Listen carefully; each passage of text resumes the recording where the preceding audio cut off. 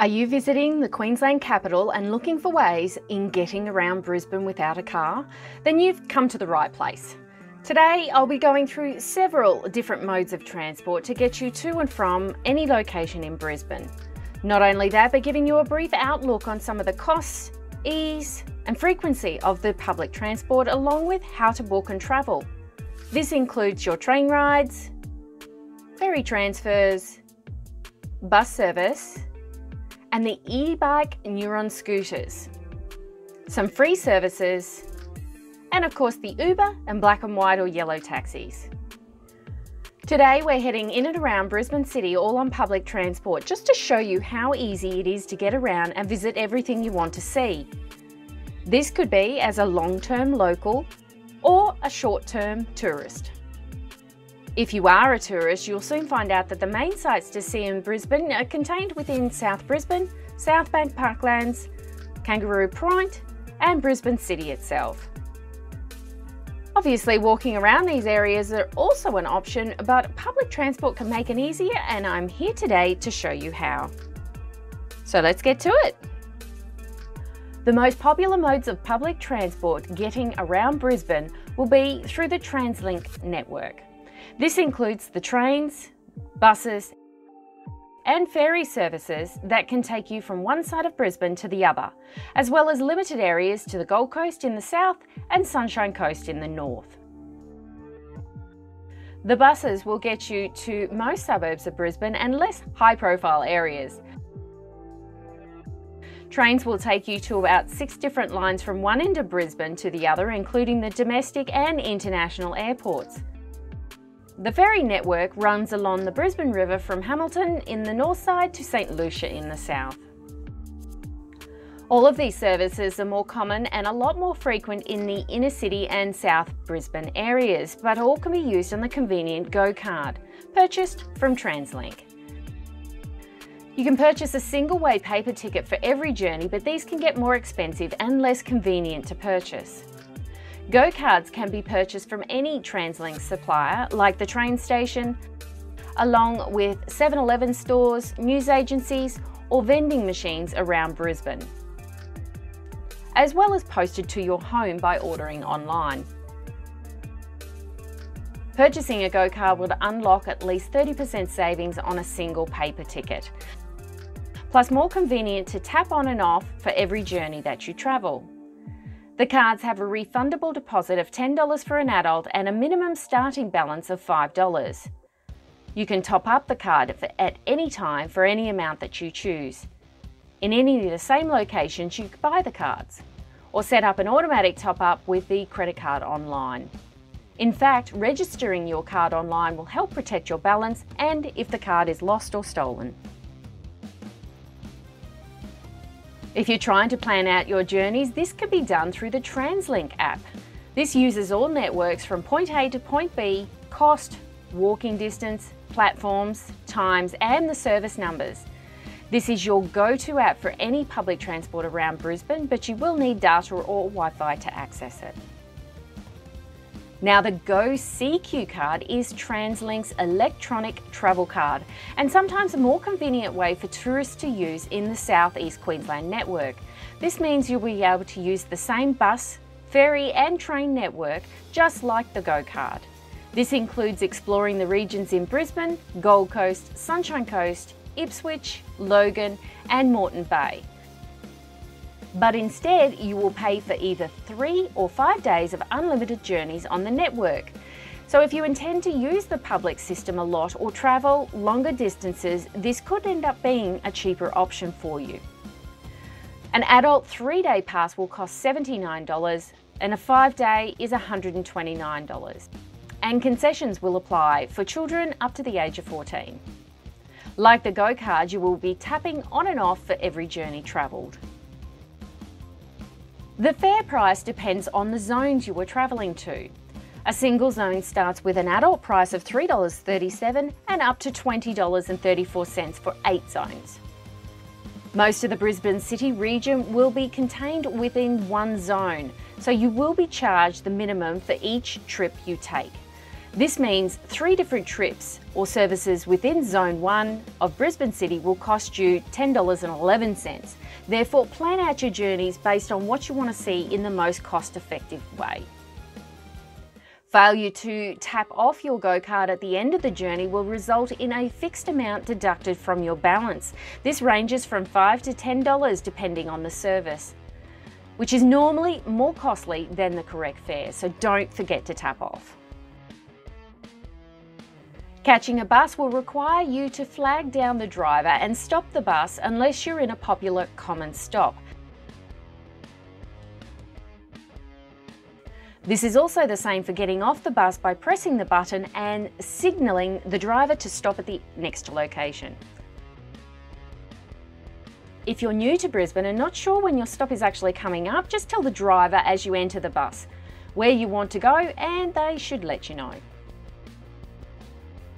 The trains I do find a little easier to travel and fixed within Brisbane suburbs as station stops. You will normally tap on and off upon entering the station in the suburb and allowing access through the automatic gates in the inner city locations. As long as you know the suburb you're going to, the speaker system will tell you when that station is coming up and prepare you to depart. Your carriage door will only open if you activate it by pressing the button, but don't confuse this with the emergency button, which is often nearby.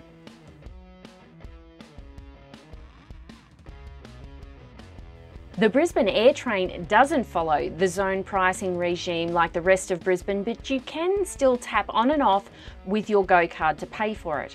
The cost will depend of where you're coming from, but generally travelling from Brisbane Central Station to the airport with your Go card will cost you $19.50 one way per person. If you're looking at saving two bucks, then you can go to airtrain.com.au and book your return ticket online, which will cost you $37.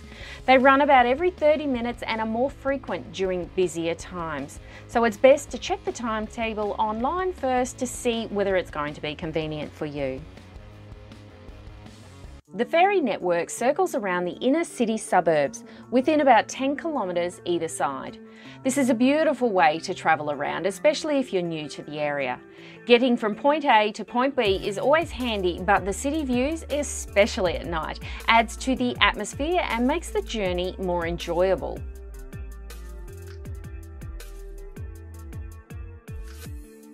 The tap on and off areas are randomly around the inside of the City Cat, so look out for them. So how about some free transport? Then you have the Brisbane City Hopper. These boats are smaller than the normal City Cat. They're actually called Kitty Cats, but have a small red sign on them named City Hopper. The Brisbane City Council City Hopper is a free inner city ferry service on the Brisbane River. You can hop on and off the City Hopper between North Quay and New Farm for free. The service runs seven days a week and comes through every 30 minutes. Times may vary on the day, but generally between 5.30am and midnight with later services on Friday and Saturday nights. Some more free services, then don't forget the free bus loop, which has a couple of different tracks, but they do work the same as any bus in Brisbane. They need to be flagged down to get on, and you need to hit the stop button to get off at the next stop.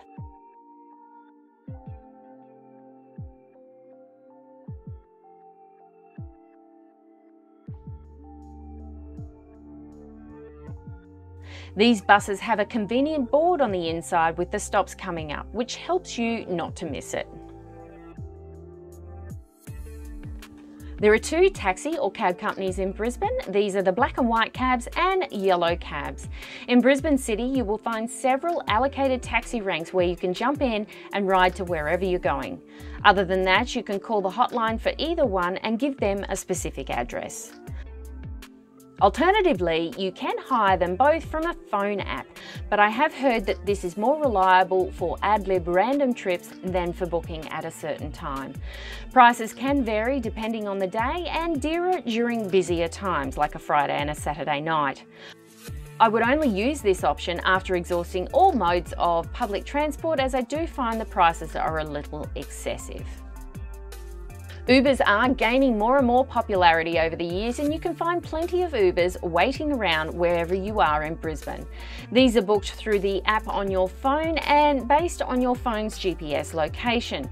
Prices for Ubers are a little bit more affordable, but once again, I would only use them out of convenience and once exhausting all other public transport options. Now adding something a little different today, we have the Neuron scooters, which have been in Brisbane for quite a few years, but this is my first time trying to use it. It's more of a fun way to get around on the footpaths of Brisbane, but will reduce the time instead of walking. After researching the details online, I was directed to download the app onto my phone. Once a phone number and email address have been verified, you can select the payment option with a credit card or PayPal and you're ready to go. If you have a couple of people, then it is handy to know that the Neuron Scooters account you just set up can activate up to five vehicles and charge to the same account. These scooters are available in several different cities around Australia, so if you happen to be visiting any of these cities, they can be managed through the One app. Passes and payments can be made through the app for one day for $15, three days for $25, a weekly for $33 and monthly arrangements for $99. This gets cheaper with the longer pass you get, but based on a $1 unlock fee, as many rides as you want and up to 90 minutes ride time per day of use. If you're looking to try them out and more of a short-term option, you can pay per ride for $1 unlock fee for each scooter and 45 cents per minute that you ride. The Neuron network or parking stations are all throughout Brisbane City, but stretch as far as Hamilton in the north side of town and Indooroopilly on the south side. This app will show you where you can go, where to park, where not to park, where you can hire a vehicle and how many of them are there. The coloured zones will detail no ride zones and where you need to lower your speed to a maximum of 15 kilometres per hour. What's great about these scooters is that you can get from point A to point B throughout the network in a quick amount of time. When you finish up, you simply check out and move on to whatever else you want to do. Well, now you know how to get around Brisbane, so next you need to check out some of the things to do. So click here for my Southeast Queensland playlist and start planning out what you're going to check out in Brisbane.